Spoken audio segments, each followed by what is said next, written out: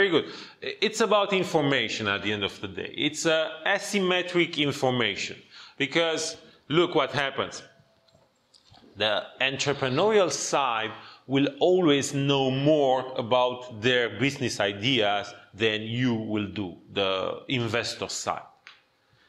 Whatever you try to do, you, you can go there and sit with uh, Sergio, our big entrepreneur, every day, watch his ideas, uh, work with him. You, you'll still not be able to get into his head and know what he knows about his business. You don't know how hard he is working for these ideas.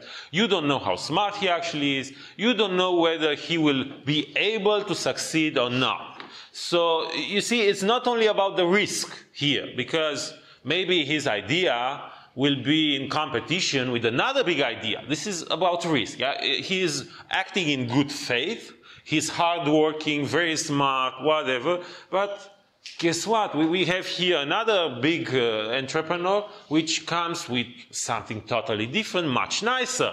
He will work uh, with, not with uh, the thoughts, he will work with some other uh, things like the vision. When, when you look at somebody, this person will automatically, uh, I don't know, be friend with you. Yeah? So this is another very good idea. And now, if I have this nice uh, idea with looking at people and they will be friendly to me, more people will subscribe to my service and not to his service about punching people with uh, thoughts when you are not so uh, friendly with them. So you see, this is risk. Risk is normal. But I have the other side which says, I don't know if he's really working hard for his business. I don't know that. Maybe he's pretending that he's doing that. He says, give me money. I need to work for my business. He's buying a nice Ferrari he is uh, booking a suite, an apartment here at Sheraton, and he says, I'm uh, working very hard using your money to develop my business.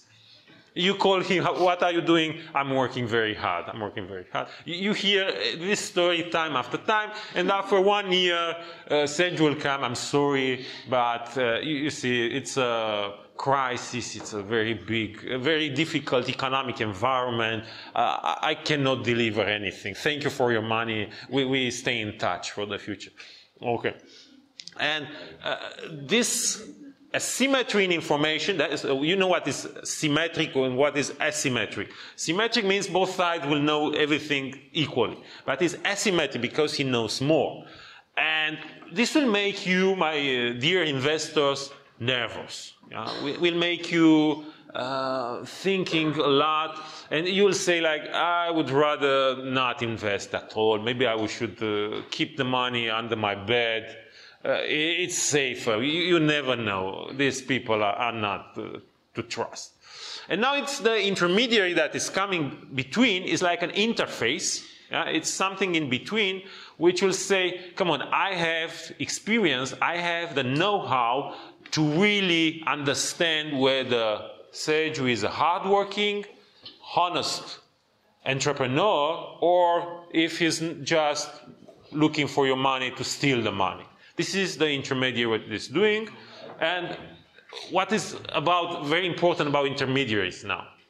What is the main asset of an intermediary? You know what the asset is? Yes. Security. You, I think you are close to what I'm after, but I'm not sure you are yet there. It's in his main interest for the business to be a success because he's going to have a percentage of that business. The, the bank will not have a, usually a percentage of the business. The bank will take commissions. Yeah, through commission. Okay, so uh, imagine you, you Victor, you, you go from the side of entrepreneurs, you want to be an intermediary. And you will be here looking in the eyes of the investors, smiling very nice and telling them, trust me. Trust me. Yeah? I, I'm not like the others. Yeah? I'm a very serious person. Give me your money and I will take care of them. So what you want to sell actually? Faith and confidence. Confidence, reputation. This is all about for intermediates, reputation. Therefore, the banks, you'll see, will always have huge buildings, the people there will always be dressed very nice in the banks.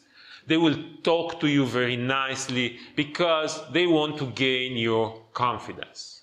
This is about reputation, confidence. When an intermediary is losing this reputation, it's almost bankrupt. Nobody will trust the intermediary. Nobody will put the money there. Because, look, the bank will never say, I am multiplying your money. No, the bank will just say, I'm finding opportunities for your money to be multiplied. So you have to trust this institution that is honest, that they are smart enough to do that, and therefore the banks will always care about reputation. It's very, very important. And now it's easy to understand how it's this working. The banks is collecting the money from you and is finding opportunities. So you as uh, entrepreneurs, you could go to a bank and ask for money, but keep in mind the banks are not venture capital funds. They are not business angels, which means what for you? If you go to ask for money, You have to give them back. you always have to pay something back, even to a business angel or You also have to pay interest. You have to pay interest for sure. But what else the banks want? A lot of there, there's going to be a lot of criteria for you to get that money. You have to fulfill a lot of demands. You'll need to present a lot of papers. You'll have to. For sure. They would like to have a much lower risk. Yes. Why? Because the banks are usually working with the small people, with the uh, people without much financial education, and these people don't like risk. Venture capitalists, they usually work with big clients, rich people, which understand what is risk, and they, if they lose one million or something, these people will not go hungry home. But if you take a small person that saves, I don't know, thousand euro, and he's losing his thousand euro, it might be that this person now will not buy enough food for the family the next month. It could be, yeah, because this 1,000 euro was big money for him. So therefore, in financial world, in economy, we, we make a distinction between the people that can afford to take risks, big risks, and people that cannot afford to do that. And if you cannot afford to do that, you bring your money, your savings to the bank. And now the bank will take a very, let's say, uh, prudent approach that they will not risk too much your money. So if you go to a bank and you are here and you say, I want a credit, a loan, they will say, bye bye. they will never give you a loan here. They will probably give you a loan somewhere here. You, you really have to show that you had profits in the last three years. It's not just the last year that it was a good year. You have to show that you had profits in the last three years. You have to show, for example, invoices that you send to your clients that, that you, you are waiting for some money you have accounts receivables you, you, you know about that yeah? so you have to show you, you have even if you don't have the cash now i go with my invoices i say come on i have accounts receivables and i have accounts receivables from companies that people know give me some money and they will lend you money they will give you money. Otherwise forget about it. It's no possibility